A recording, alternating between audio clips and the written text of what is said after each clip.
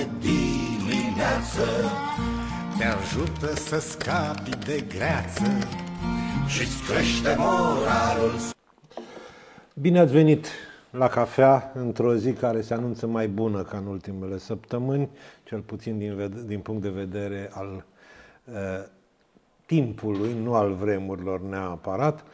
Uh, e și o zi de relaș pentru multă lume dintre dumneavoastră. Uh, noi aici la Mesagerul din Neamț, de Neamț și Știri Neamț ne-am gândit să facem o emisiune în care să vorbim mai pe larg despre niște lucruri care de obicei nu se spun pe plan local.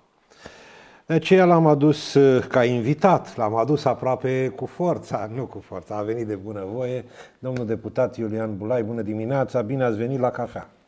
Bună dimineața, mulțumesc mult pentru cafea, bine v-am găsit și pentru că suntem într-un timp deosebit, le urez rusalii uh, liniștite și cu multă înțelepciune în continuare tuturor nemțenilor. Și binecuvântate pentru toată lumea. Domnul deputat, sunteți un personaj. Vreți, nu vreți, ați devenit un personaj la nivel național, nu la nivel local. Întrebarea mea este, de ce ați devenit un personaj?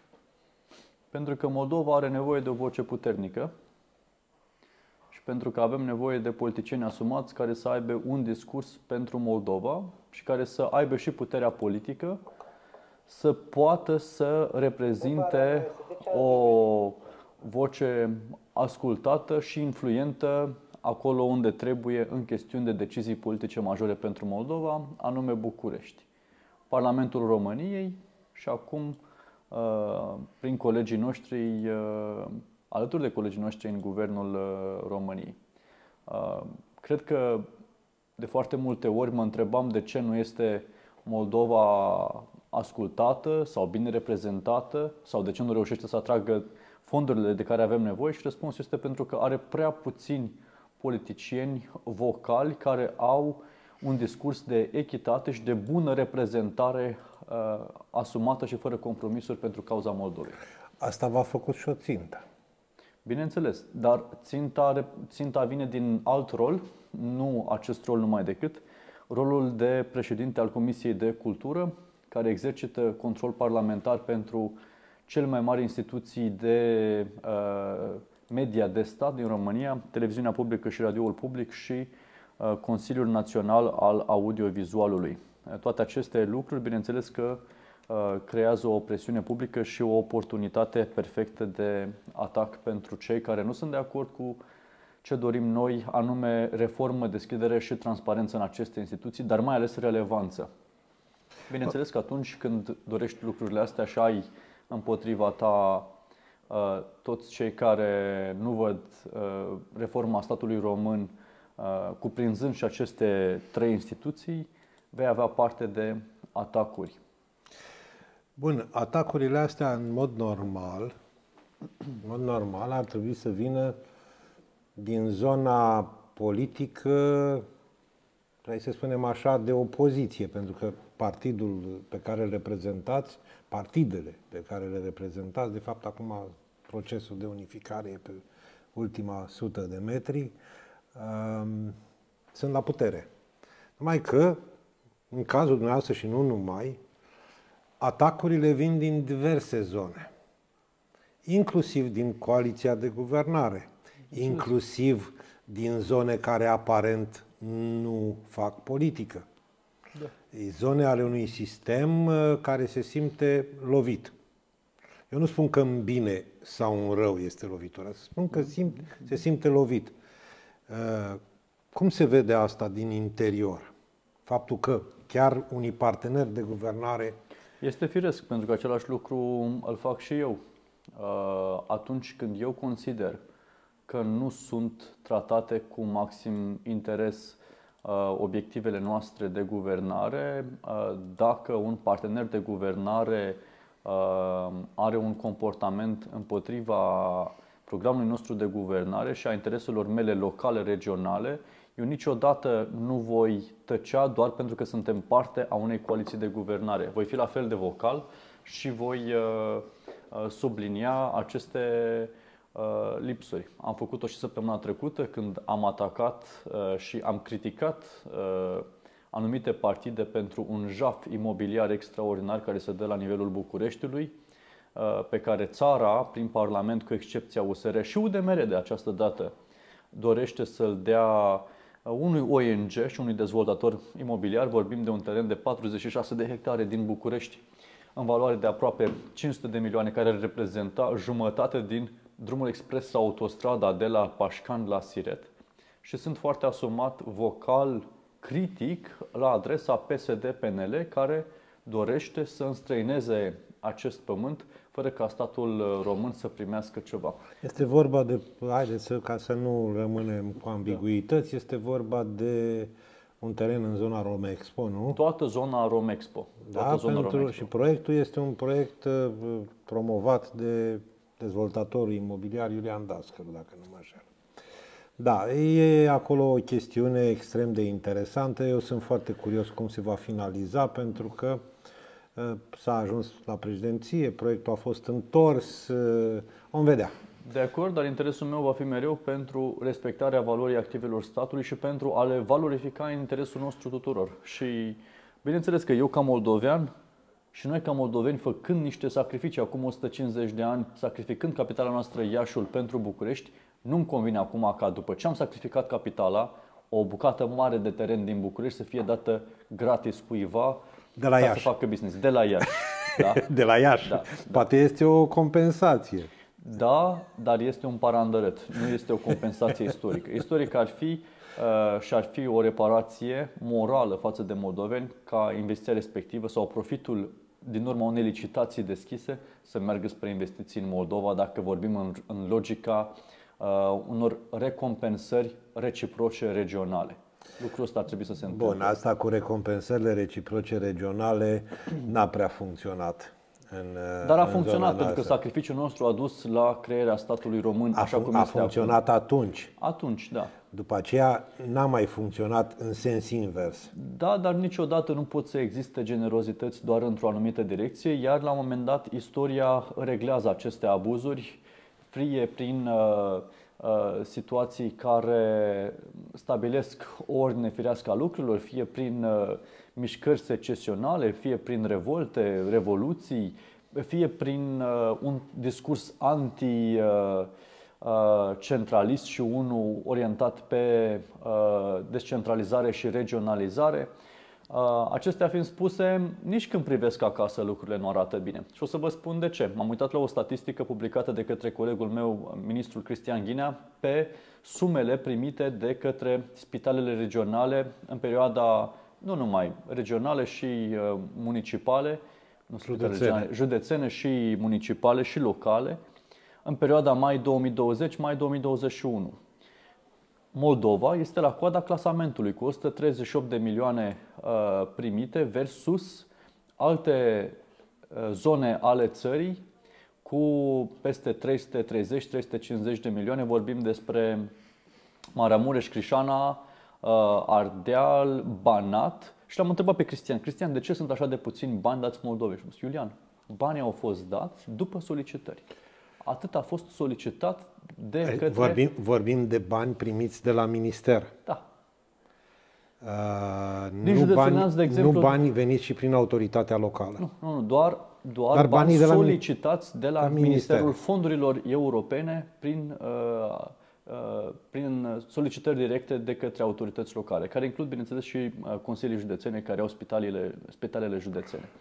Atunci, Problema în această logică atunci când privești acasă și vezi cât de, bun, cât de puțin bani au ajuns pe baza solicitărilor de aici, trimise la București, este nu că București nu dă, că dă tuturor celor care cer.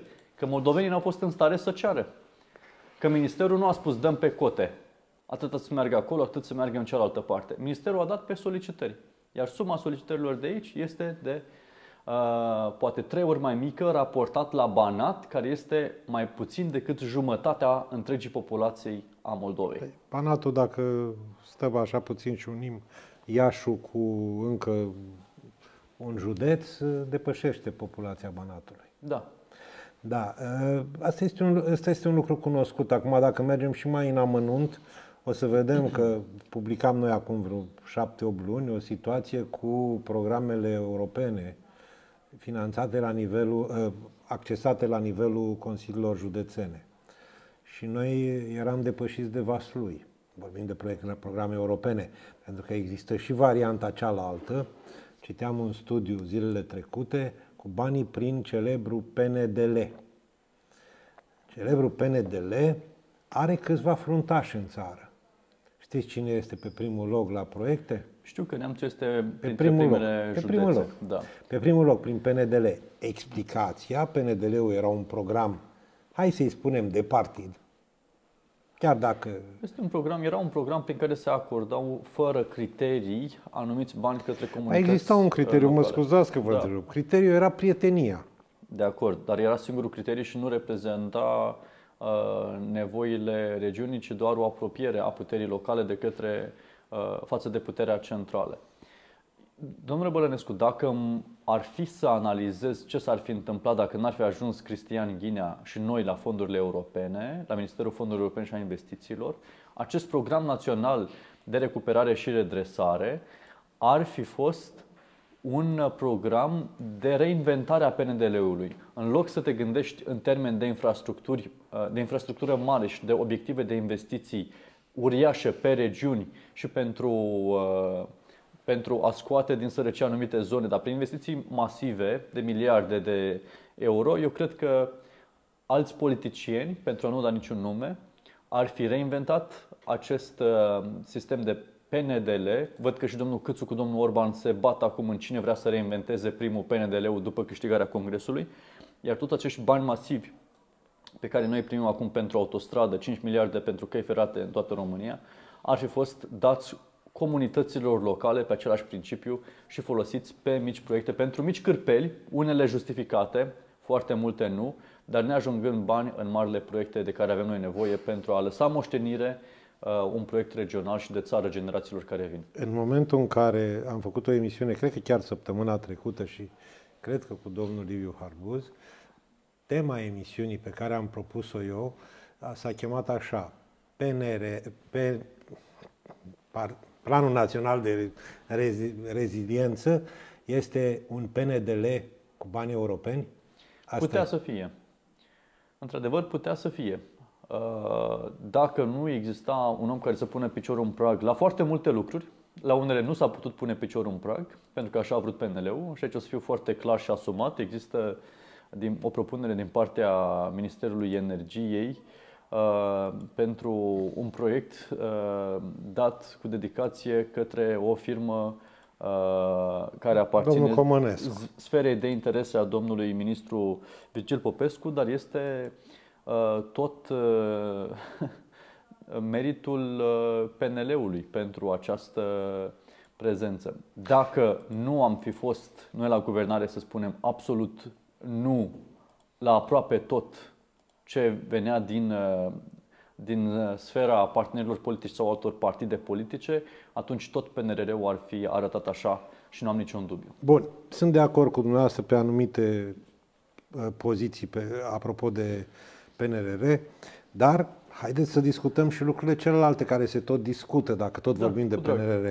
Agenția care ține de Ministerul Sănătății, despre care partenerii dumneavoastră spun că nu s-a votat în cadru, eu știu să fac distinția, să nu s-a discutat și nu s-a aprobat, da. mulți nu fac această distinție, că una spunea ministrul Mihailă, Mihailă, cred, da? da? Și alta spunea domnul Câțu. Da. Deci această agenție uh, care pare, pare a fi făcută cu un scop uh, clar din punctul meu de vedere, să nu mai fie legată de celelalte structuri care aprobă.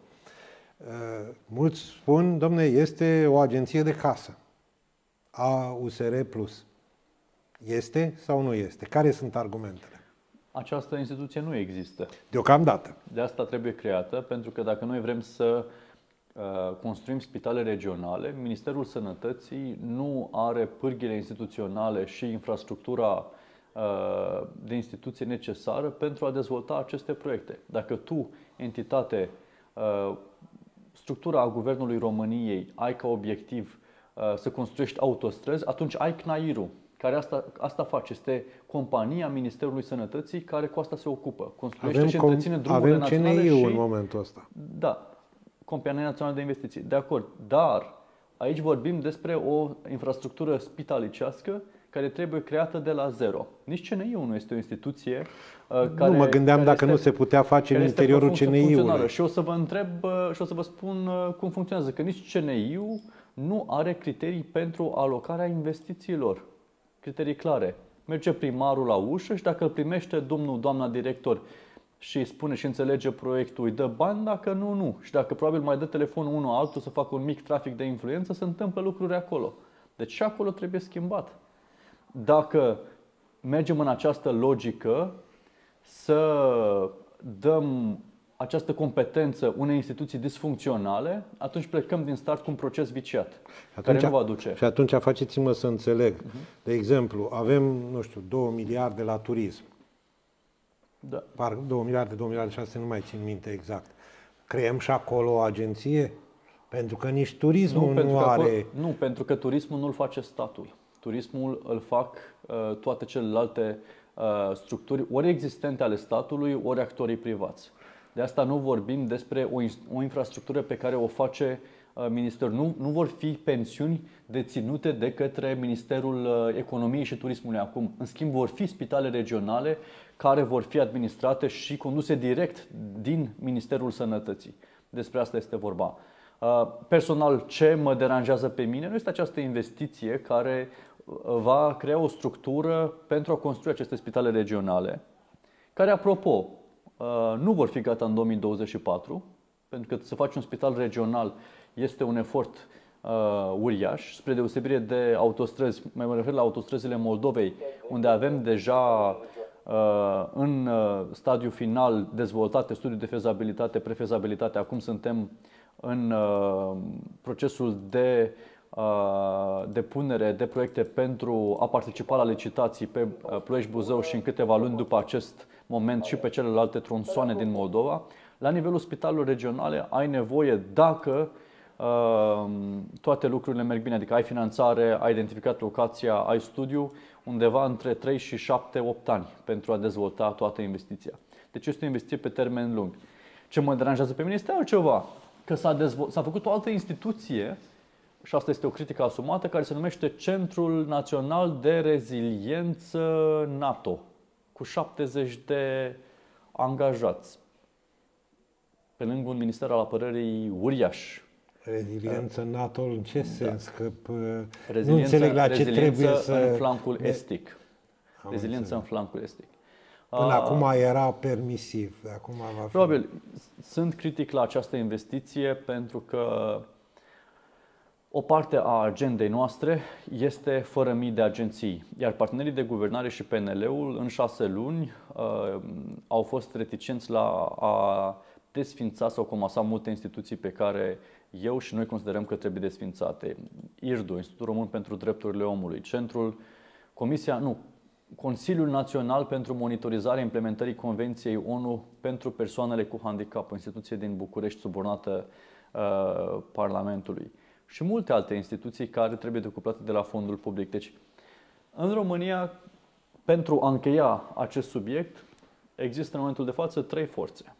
O forță USR Plus, care este avangardistă, reformistă, o forță PNL, care este generos spus moderată, dacă nu statică, Moderat conservatoare? Moderat sau? conservatoare în sensul, A, în sensul ideii de reformă de stat. Moderat conservatoare și o altă forță care este mai degrabă uh, retrogradă, care este uh, PSD. Bun. Uh, dar forța asta reformistă, avangardistă, are doar 15%. Forța moderat conservatoare are undeva la 25-30% și restul este ocupat de ultranaționaliști și extremiștii de la AUR și de, uh, și de anacronicii de la, de la PSD.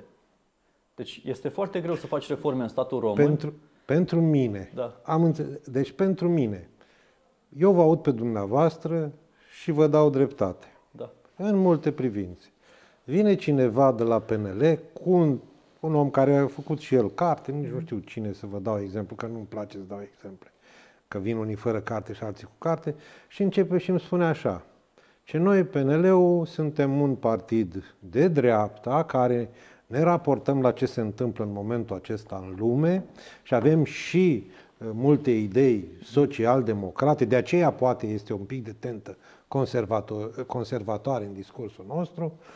Avem PSD-ul, care este un partid de stânga și care a făcut dezastre, nu știu ce, dar sperăm să revină la niște valori social-democrate autentice, moderne.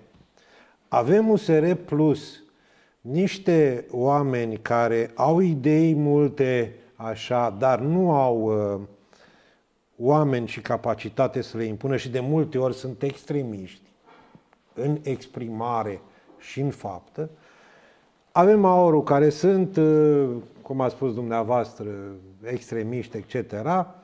Păi aia vine unul de la PSD și spune, Domne, ce avem, uh, ei nu fac chestii stânga, dreapta foarte mult. Avem niște inconștienți la guvernare care se duc cu banii așa, mă rog, vine și aurul și spune, domne, noi apărăm valorile naționale. Toată lumea apără valorile naționale. Dar, zice, spre deosebire de alții, zice, noi încercăm ca aceste valori să fie legate într-un fel de ceea ce înseamnă spiritul acestui popor și realitățile de acum. Și eu stau aici și zic, bă, poate fiecare are undeva dreptate. Ce facem noi, la nivelul clasei politice, să încercăm să unim toate aceste lucruri în măsura în care se poate. Să nu mai avem numai uh, discursul acela, scuzați-mă că o spun, bapea.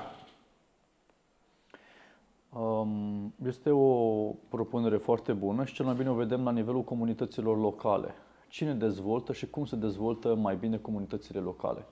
Eu vă invit cu drag în comunități guvernate de uh, PSD uh, în ultimii 30 de ani în județul Neamț, care în afară de termopane la primărie, nu, ok, și un var dat pe, pe zidurile primăriei, comunitățile respective nu au observat niciun progres sau nicio dezvoltare din punct de vedere al infrastructurii publice. Ok, poate puțin asfalt aici, colo și niște trotuare în sat, uh, dar cam atât.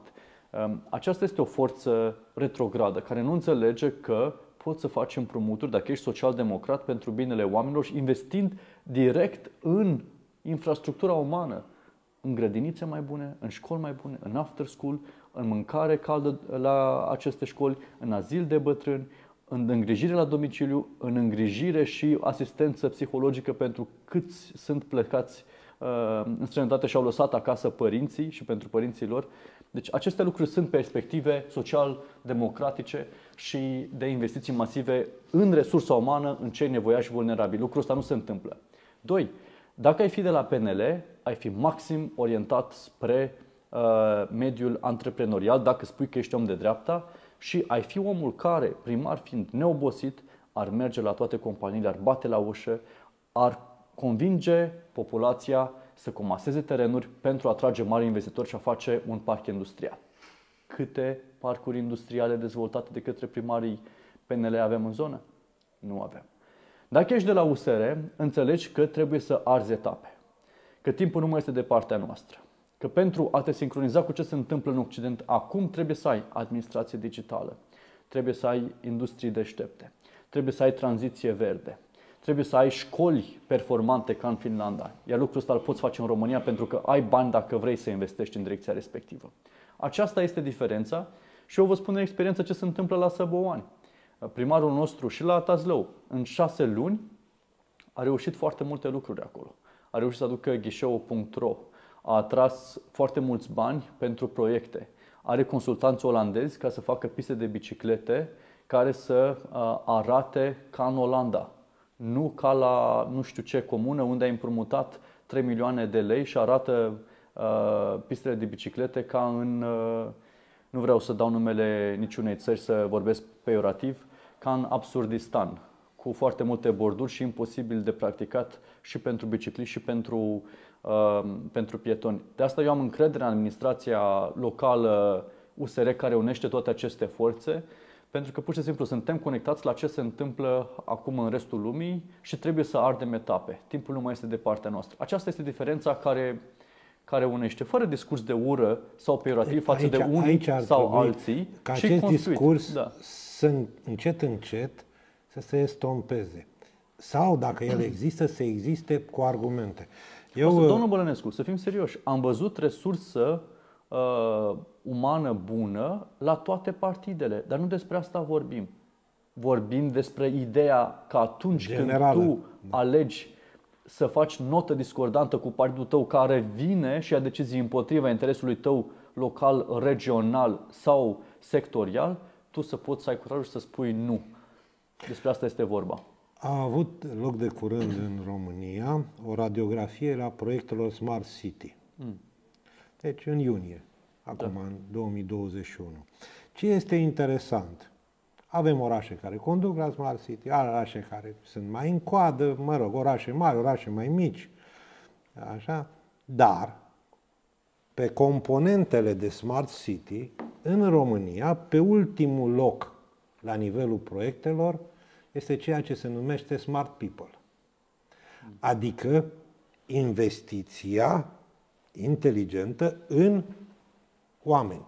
Avem tot felul de proiecte, Smart City, bă, proiectele cu oameni, pentru oameni, nu prea se văd. Și asta o spun chiar cei care se ocupă cu așa ceva.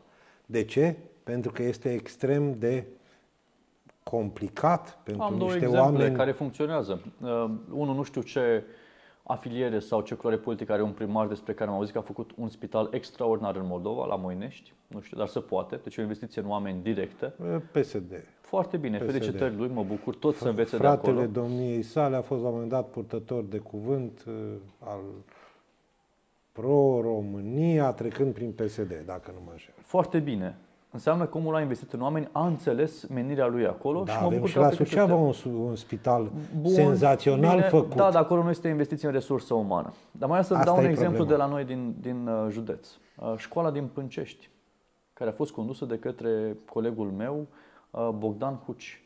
O comuni... Domnule, domnul Bălțe, ați fost vreodată la, uh, la Am trecut Pâncești? prin Pâncești, da. Pâncești este o comunitate foarte rurală, izolată, îmbătrânită, unde nicio altă instituție nu are așa de multă lumină, curățenie, deschidere, investiții în infrastructura uh, vizibilă, materială și cea umană ca acolo.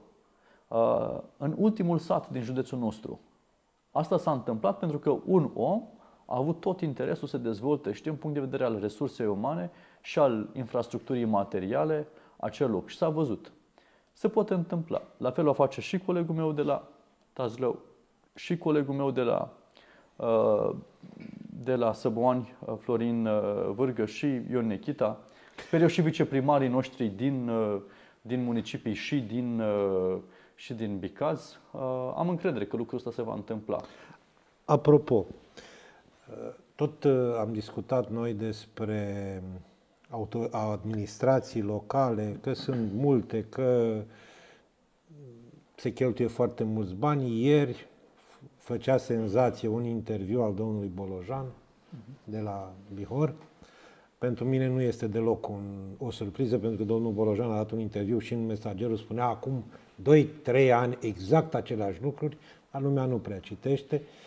Spunea așa, domne, numai la nivelul Consiliului Județean, anul acesta facem o economie la salarii de, țineți-vă bine, 6 milioane de euro. 6 milioane de euro. O să am curiozitatea să fac un calcul la nivelul județului Neamț, cât ne costă pe, nou, pe noi salariile din Consiliul, Consiliul Județean și toate primăriile din, din, uh, din județ.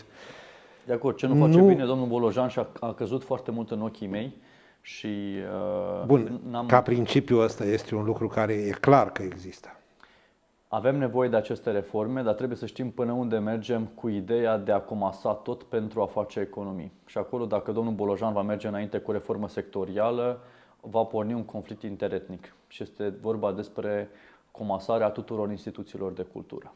El vrea să comaseze orchestra Bun. maghiară cu teatru român. Bun, au mai vrut uh, și, și Ceaușescu și la un moment dat să facă, da. să unească geologia, geografia, uh, geometria, așa și să-l pună șef de catedră pe Geobogza. Dar n-a ieșit. Da. Ei, asta ăsta... vrea să facă domnul Bojan. Pentru alte lucruri n-am, nu comentez. Este un lucru foarte bun dacă el a reușit asta și am fost în Oradea, arată bine, dar la nivel de reforme în cultură Aici nu susțin este, deloc Asta este deci un punct. Da, Pe mine da, mă da. interesează principiul. Și principiul funcționează. Uh, la Piatra Neamț am uh, văzut că am facem uh, reformă în primărie, creând încă 40 de posturi, în condițiile în care ai 40 de posturi neocupate.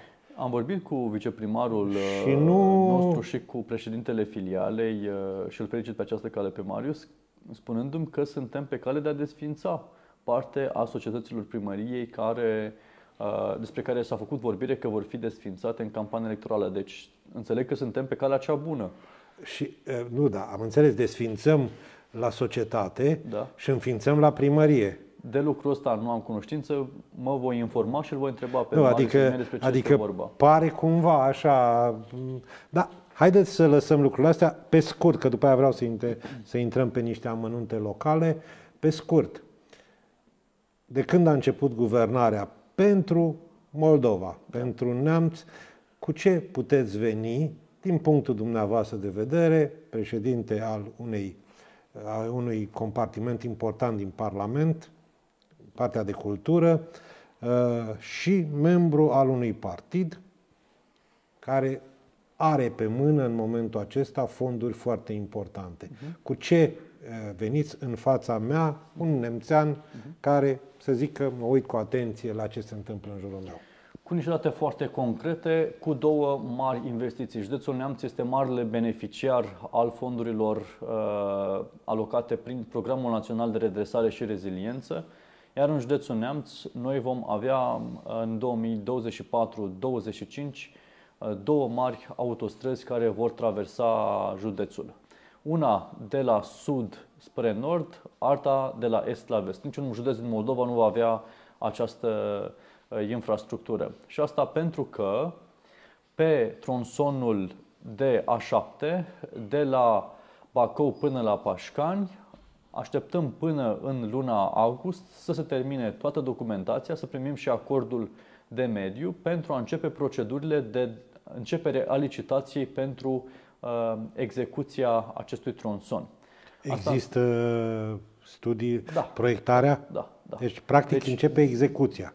Nu, am spus, Proiectare că, plus... am spus că în luna august, terminându-se toată documentația și primind acordul de mediu, după luna august se începe procesul de începere a licitației pentru execuție. Deci ah. începe execuția, începe licitația, licitația pentru execuție. Care cuprinde și parte de proiectare, că de obicei așa. Proiectarea a fost făcută. A fost făcută. În ultimii 2-3 ani s-a făcut asta, despre asta vorbesc. Niciun partid nu a sabotat acest proiect, de asta acum el fiind matur, intră în licitație pentru execuție deci, începând cu toamna asta. Un an... Începând din primăvara, vara anului viitor, va trebui să avem șantiere aici. S-a simplificat și legislația pe contestații, în sensul că dacă tu, ca participant la licitație, depui o contestație, trebuie să prezinți și o garanție pentru uh, a avea o chestiune de reglaj a, a Uh, contestației respective, să nu o faci doar de dragul sabotării. Și dacă pierzi, atunci să fie blocată garanția și să intre în bugetul statului. Deci acesta este un proiect foarte mare. Bacău pentru că Pașcani. Pentru că ne, da, dar este partea unei autostrăzi care ne va lega de sudul României, de București, de Ploiești și de capital. Alt proiect foarte mare este uh, o secțiune de autostradă, singura din A8 care a intrat în acest plan național de redresare și reziliență, care este de la Pipirig, Vânători, Târgu Neamț, Moțca Pașcani. Și o să vă spun de ce. Pentru că acest sector mare, de la Pipiric până la Ungheni, a fost sectorizat. În sensul că cel mai apropiat de terminarea studiilor pe tronsonul A8 este sectorul montan.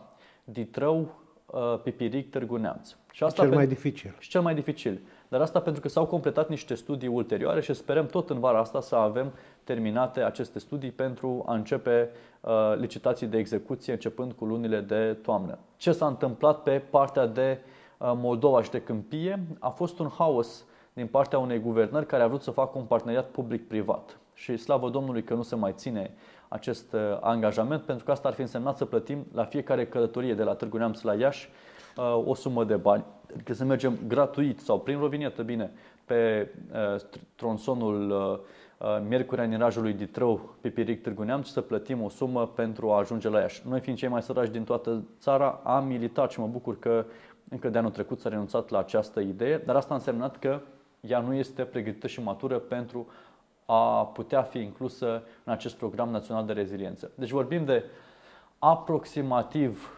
50-55 de kilometri de la Pipirig până la Moțca Pașcan, poate chiar 60 de kilometri, dar cred că asta este lungimea, ceea ce înseamnă uh, deja foarte mult pentru noi în Neamț și mai înseamnă o porțiune de uh,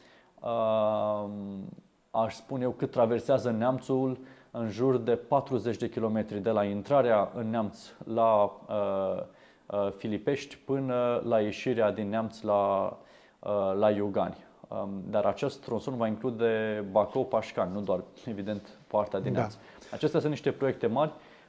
Această bucată de autostradă este foarte avansată. Sper eu că începând din primăvara viitoare, din vara viitoare să avem șantier în județul Neamț în uh, acest tronson. Pe tronsonul Pipirig până Tor, Târgu Neamț, Moțca, Pașcani vor uh, începe uh, din 2023 pentru că e nevoie de acești 2 ani pentru a completa acest studiu de fezabilitate.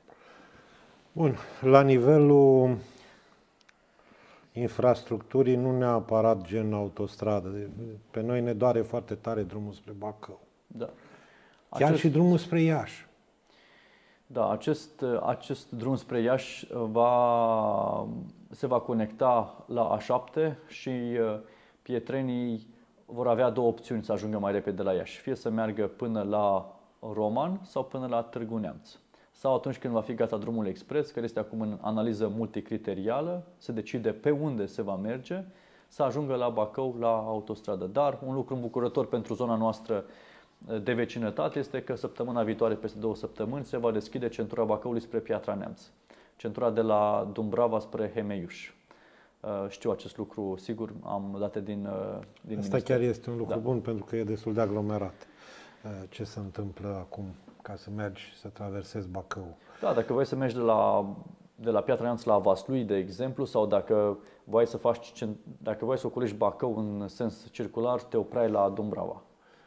Domnul Bulai. Da. Sunt lucruri care se întâmplă așa și ai impresia că trăiești într-o țară în care nimeni nu vorbește cu nimeni. Vă dau un exemplu minor. Uh, prin Consiliul Județean, cred că prin PNDL, nu mai țin minte, se face un drum acum, se lucrează la un drum de la Bicaz Ardeal spre Tulgheș. Da. Uh, investiția este extrem de interesantă acolo pentru că dacă reușești să tai pe acolo, faci o economie enormă de combustibil și nu numai pe spre Târgu Mureș în da. momentul acesta. Inclusiv salvările, dacă e să luăm... Da. Uh, proiectul este aprobat, se lucrează, chiar cineva de la mine a fost pe acolo ieri, al ieri și s-a uitat. Numai că am zis, hai să vedem ce se întâmplă în Harghita. Da. Noi nu facem. Dar de ce nu faceți? Nu ne interesează. De ce? Este drum județean. Și, eu, sunt aberații de genul da, acesta. Da, da. Deci merge până la limita de județ. Am înțeles. Eu voi vorbi cu, nu știu cine este președinte la Consiliul Județean, dar voi vorbi cu colegii mei uh, parlamentari de Harghita uh, și uh, deci este, mă voi, sunt, mă sunt aberații de genul acesta. Voi vorbi și cu președintele Helemen, uh, Kelemen Hunor, care este tot din Cârța, din Harghita și voi întreba ce se întâmplă cu această investiție. Eu știu drumul de la uh, Bicaz spre, de la Bicazul Ardelean spre Tulgheș, am fost chiar în primăvară pe da, acea sunt porțiune. trasee turistice acolo. Da, am fost pe acea porțiune. Arată dezastruos de la ieșirea din sat până Acum spre, la intersecția care merge spre Parcul Național Ceahlău. Drumul ăla arată foarte rău și mă bucur că sunt lucrări acum uh, acolo. Voi vorbi să văd ce se întâmplă pe partea de Harghita pentru a ne conecta intermediar mai repede la Târgu Mureș. Pornind de la o întrebare pe care am primit-o pe chatul emisiunii, mm-hmm. ce inițiative au depus până acum consilierii județeni USR Plus? Eu vă propun să ne întoarcem un pic în județ și în organizația da. pe care o conduceți. Uh... O să vorbesc de cea mai importantă propunere a colegilor noștri și anume aceea de a nu face aceste împrumuturi de 100 de milioane pentru investiții Drumuri. În, Exca- infrastructura rutieră, în, uh, în mod exclusiv pentru infrastructură, ci de a dezvolta pentru un beneficiu intermediar până la crearea unui nou spital județean, uh, un spital modular care să cuprindă toate compartimentele care acum uh, se des- își desfășoară activitatea în clădirea spitalului care a luat foc, ironic numit cel nou, ca și la Roman de altfel, că cel vechi e de la 1800, cel nou, aici de la 1900, cel nou e din anii 70, la fel și acolo. De asta opțiunea noastră a fost împrumutăm acești bani, atingem pragul limită de împrumuturi pe care Consiliul Județean și-l permite, dar investim acești bani în infrastructura spitalicească. Nu mai trebuie să piară uh, nicio viață umană din aceste lipsuri de infrastructură, nu pentru alte uh, peticeli. Și da, drumul de la Bicaz spre Turgheș este important, dar nu este mai important decât o soluție intermediară uh, pentru un spital județean. Deci nu trebuie să vorbim despre un, o investiție împotriva alteia, dar viața umană și spitalul este mult mai important. De asta noi am susținut și noi nu ați, am votat. Ați uh, discutat, sau mă rog, reprezentanții dumneavoastră da. au discutat, de exemplu, cu președintele Arsene? Da, au fost discuții uh, aprinse pe această temă. Uh, și a fost chiar și un schimb de replici foarte dur în care colegii Eu nu vorbesc de ședință. Eu nu vorbesc de ședință.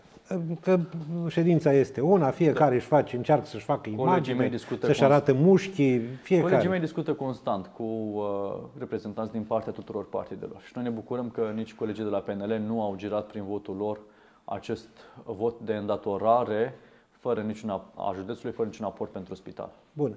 Spitalul este cum este, se discută de atâția timp, eu m-am săturat de câte proiecte de spitale am avut în Piatra Neamț, în Neamț în general, care au rămas machete frumoase sau pe hârtie.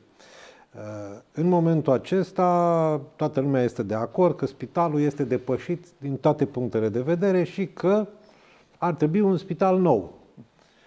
În ședința de acum, cred că se, Consiliul Județean va prelua terenul pus la dispoziție de Comuna Gărcina.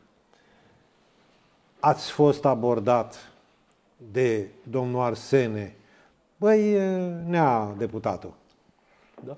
ajută-mă să facem spitalul ăsta, făm lobby, făm ceva. Da. Pentru că nu mi se pare uh, greșit. Cum să fie greșit? Este interesul să nostru faci tuturor. Așa trebuie ceva. să fie, de fapt, singurul proiect față de care trebuie să existe consens fără, fără discuție. Spitalul județean Neamț, spitalul care trebuie să fie făcut cu Uh, acordul și prin consensul tuturor partidelor politice, fără nicio discuție. Da, bineînțeles, am fost abordat și au avut loc și întâlniri în această direcție și sper eu să uh, primim un studiu de fezabilitate, dar nu o promisiune de studiu. Acum este dată uh, PSA, urcată pe SICAP. Am văzut licitația pentru, pentru studiu, nu studiul final, nu, nu? în sine, da, da pentru a-l da în execuție, pentru a putea să soliciți o finanțare din partea instituțiilor centrale, că vorbim de Ministerul al Sănătății sau de uh, uh, Ministerul Dezvoltării sau de Ministerul Fondurilor Europene, tu, autoritate locală, trebuie să prezinți um, acest studiu de fezabilitate care să arate exact uh, totalul investiției cu proiect tehnic, cu deviz, cu amplasare, cu plan de construcție și toate dotările. Uh, pentru a putea obține acești bani, trebuie să existe acest studiu. Uh, în momentul de față el nu există, de asta nu există nici solicitări concrete pentru finanțare. Da, tocmai am primit o veste de la ISU că azi noapte a avut loc un incendiu la o hală de depozitare a unui operator economic de platforma Săvinești. Îmi pare foarte rău. Da, au, au ars niște benzi transportoare, mă rog. Îmi pare Dar, foarte rău. Uh, revenind, deci au avut loc niște întâlniri. Dacă studiul va fi făcut, să spunem, la nivel măcar bun, nu foarte bun, există șanse ca să, să continue finanțarea pentru spital, pentru că în momentul ăsta, la nivelul Consiliului Județean, sunt vreo 20 21, 22 de milioane pentru proiectare. În exercițiu financiar sunt, sunt date din fondul de urgență al guvernului. Uh, la nivelul exercițiului financiar al Uniunii Europene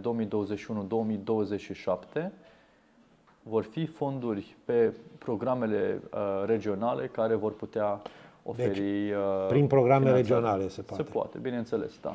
Adică numai, lumea... că trebuie, numai că trebuie să ai acest studiu și el durează un an jumate, doi, de obicei, Așa dacă vrei să-l faci bine. Uh, da, pentru că trebuie să ai absolut toate datele cu privire la tot felul de investiții, toate avizele de la toate instituțiile. Studiul reprezintă o bibliografie care spune povestea întregii investiții și care a adus la masă deja toate instituțiile care și-au dat acordul pentru oportunitatea uh, acestei investiții. Uh, acest lucru durează, ia timp, la fel ca și o autostradă. Pentru că dacă nu ai aceste uh, avize și acorduri, atunci nu respecti legea și uh, intri în sfera penală și nu poți construi nimic legal. Uh, lucrurile se fac în timp, dacă vrei să le faci bine. Dacă vrem să facem soluții intermediare, așa cum am propus, fără aceste avize, studii, studii de fezabilitate la acest nivel, împrumutam acești bani să facem un spital modular cu durată de viață de 10, maxim 15 ani pentru a avea o tranziție, pentru a nu mai lăsa oamenii să moară în spital acum, dar știind că nu putem să construim în următorii 4 ani acest spital nou, că nu se poate. Deci dacă acum s-a dat deci avem nevoie obligatoriu, de da. nevoie de o tranziție. Avem nevoie de o tranziție și în momentul de față nu suntem capabili să o asigurăm cu infrastructura pe, o, pe care o avem. Și am văzut din exemplul de la, de la Asociația Dăruiește Viață câți bani și cât timp ia să faci un spital de, a, de acest nivel. Noi într-un an și jumătate... câteva paturi. Da, câteva paturi. Într-un an și jumătate, alocând toți acești bani, am fi putut să avem o soluție intermediară pentru 150 de paturi spre 200. Ar fi fost mult mai bine decât acum și am fi tratat pacienții în siguranță. Nu s-a vrut, luăm în act de asta și mergem mai departe. Lăsăm lucrurile astea și ne întoarcem un pic spre organizație. Duminica viitoare aveți alegeri. Uh, practic sunt alegeri care trebuie să ducă la finalizarea procesului de unificare la nivel județean. Uh, cum, uh, cum a decurs procesul ăsta de simbioză USR plus? Da. În primul rând vreau să felicit pe, pe Marius uh, Irimia, care a fost ales recent președinte la filiala Piatra Neamț. Vreau să le mulțumesc și tuturor colegilor din, din biroul local din mandatul trecut. Vreau să-i felicit pe cei care au intrat în noul birou local, chiar oameni foarte valoroși și uh, cu foarte multă energie și cu prospețime. Uh, vorbim de Carmen Mihalache, vorbim de uh, Lucian Furnica, vorbim de Tiberiu Berbece, vorbim de Paul Marin, președintele organizației de tineret la nivel județean. Deci este o renoire puternică la Piatra Neamț și mă bucur că am văzut aici patru valuri de oameni venind la conducerea organizației în ultimii 4-5 ani și este îmbucurător să văd acest lucru, că Uh, nu există un monopol și că crește frumos uh, organizația. Eu am văzut numai la număr de delegați. Da, da, da. Uh, deci 90 și câte voturi, un candidat, 140 ceva. Uh-huh. Deci practic vorbim de peste da. aproape 300 de, de, de delegați, ceea ce deja arată că s-a suntem întărit. o filială județeană foarte mare. Am crescut de la 12 filiale când am preluat-o eu în iunie 2019 până la 55-60 de uh, filiale. Este o creștere foarte mare. Avem uh, de la fostul USR o moștenire de 68 de, de, de consilieri locali, de la fostul Plus 4-5 uh, consilieri locali, adică suntem o forță destul de mare raportat la nivelul întregii țări. Suntem al cincilea județ sau al patrulea cu numărul total de consilieri locali în toată țara. Deci s-a muncit foarte mult aici și avem o reprezentare bună în uh, tot județul. Uh, sunt oameni din absolut toate colțurile județului care și-au făcut treaba foarte bine și care au uh, avut rezultate locale în comunitățile lor. Bun, afluxul acesta de oameni înseamnă și aflux de idei, înseamnă aflux de uh, și de interese. Da. Și de interese, că până Evident, la urmă da. asta este. Uh, cum, uh, cum decur lucrurile pentru duminică? Uh, din punctul dumneavoastră de vedere, din punctul de vedere al organizației, ce așteptări aveți? Păi cu toată recunoștința pentru colaborarea avută cu toți colegii din tot județul de până acum, și din municipii, și din orașe, și din comune, voi candida din nou pentru uh, conducerea filialei județene și sper să facem echipă bună cu toți cei care doresc să guvernăm în așa fel încât să ajungem absolut peste tot în uh, cele peste 80 de UAT-uri din județul Neam, să fim mai puternici în Consiliul Județean peste 4 ani, să avem mult mai mulți primari uh, și să fim prezenți și reprezentați mai bine și să crească tineri și pentru reprezentare uh, regional-națională din județul Neamț și din Piatra Neamț și din comunitățile din jur. Pentru că și din Roma, bineînțeles, este nevoie să dezvoltăm tineri și oameni care își pun această țintă. Vreau să devin un politician cu anvergură județeană, cu anvergură națională, să mi se facă cunoscută vocea pentru a avea putere în cauzele pentru care eu mă lupt. Și atât timp cât eu voi fi la conducerea acestei filiale, voi milita pentru această extindere și creștere a multor lideri politici în județul Neamț și în USR+. Și din fostul USR și din fostul Plus. Sunt oameni valoroși în ambele uh, organizații și în semnul uh, acestor uh, uh, adevăruri vom merge înainte. Se va vedea la vot duminică.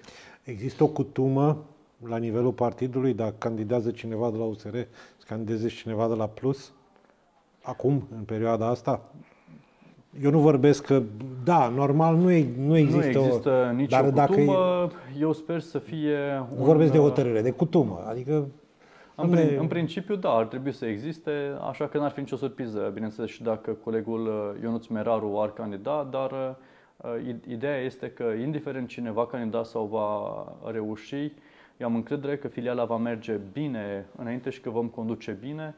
Uh, Bineînțeles, acum fiecare este în campanie. Poate că nu este corect din partea mea să-mi fac uh, campanie în fața nu, nu, deci nu, nu, tuturor nemțenilor, știind că nu toți colegii vor avea șansa să vină să Eu invit oricine, oricine. Deci la mine vă mulțumesc mult pentru această deschidere. Deci, da. Uh, domnul, domnul Bulai, știți care, este un, știți care este un subiect care ar merita discutat într-o emisiune? Vă rog. Și cred că ar trebui discutat. Până la urmă, ar trebui să discutăm lucrurile astea. USR Plus a obținut niște rezultate. A obținut prin negocieri și niște funcții. De acord. Viceprimar la Piatra Neamț, mă rog, deocamdată da. suspendat, dar da. probabil. Viceprimar la Roman. Da. Viceprimar la Bicaz. Mai aveți doi primari. Tot după negocieri ați obținut și cele două funcții de subprefect de la nivelul județului. Uh, nu ați fost luați un pic, nu ați fost luați prin surprindere un pic de toate aceste lucruri și uh, resursa umană a partidului era nepregătită în vorbesc peste tot. Pentru acest nivel nu, Pentru... nu era nepregătită. Era foarte, era foarte pregătită și da, este meritul actualei echipe că s-a ajuns aici. Nu s-a întâmplat, n-a fost o chestiune la întâmplare. Știu alt județ vecin cu un milion de oameni unde USR Plus are numai 50 ceva de consilieri, dacă nu mă înșel. Uh, este vorba despre meritul acestei echipe și este vorba despre negocieri care au decurs, care s-au uh, uh, terminat cu aceste rezultate și cred că în momentul de față, existând o creștere organică și la care s-a muncit, nu există Uh, riscul unui fenomen ca la europarlamentare, unde pe un val de popularitate să fie ajuns la aproape 25% și să nu fi fost pregătită resursa umană pentru a guverna de la uh, procentul uh, respectiv. Am încredere în fiecare coleg care este în Consiliul Local și în Consiliul Județean și uh, în primari uh, că își vor face treaba foarte, bun, foarte bine și că peste 3 ani Uh, vor multiplica această moștenire foarte bună pe care o avem în aceste comunități unde avem uh, reprezentanți. Uh, un mesaj, mă rog, eu îl dau ca la nivel de informație. Probabil că sunt persoanele în satele Secu și Izvoru care au accesul destul de anevoios în această zonă, spre ei în această perioadă, ne spune un domn și dacă știți despre lucrul ăsta, nici eu nu știam. Nu știu, voi vorbi cu uh, știu de fapt, pentru că sunt acolo și mi-a adus la cunoștință un coleg foarte bun, se numește Laurențiu Radu de la Pângărați. Dacă nu mă înșel, acolo este o problemă cu niște lucrări la un drum forestier care este supraexploatat. Nu știu. Chiar nu știu. Auzisem că s-au mai reparat lucrurile, mă voi interesa după emisiune și voi, uh, voi aborda pe colegii din zonă. Da. Și eu uh, vă mulțumesc pentru participare. Am un mesaj pentru dumneavoastră. Eu n-am insistat foarte mult pe lucrurile acestea, ca să spune așa, mai, mai altfel din discursul dumneavoastră. Fiți un pic mai atent la imaginea dumneavoastră, vă spun o doamnă. O doamnă care urmărește cam toate emisiunile și spune, domnule deputat, pe altă întrebare mai, este o strategie a dumneavoastră cu aceste declarații? Da, este o strategie a mea. da, ca să ieșiți în evidență. Asta este un răspuns foarte asumat și mulțumesc foarte mult, Doamne. Sunt sigur că o face, deci a din, sim- cu o face foarte, din simpatie, cu foarte dar multă da, seriozitate. este o, este o strategie asumată din partea mea și uh, miza acestei expuneri este creșterea unei voci puternice pentru Moldova. Am înțeles. Vă mulțumesc pentru participarea la emisiune. Vă dorim uh, baftă Mulțumesc mult. și la alegeri să deveniți o voce puternică. Vă dorim baftă tuturor celor care participă la alegeri, că așa este corect. Și să ne mai vedem uh, pe subiecte la fel de interesante. Oameni buni, asta e. Afară parcă începe să vadă tot mai bine soarele. Uh, poate reușim să scăpăm fără ploi în următoarele zile, să mai se zbicească un pic pământul și noi să ne vedem de ale noastre, noi cu știrile, dumneavoastră cu viața de zi cu zi. Mulțumesc de invitație, Rusalii, binecuvântate să aveți în continuare. La fel și dumneavoastră. Cele bune. Mulțumesc.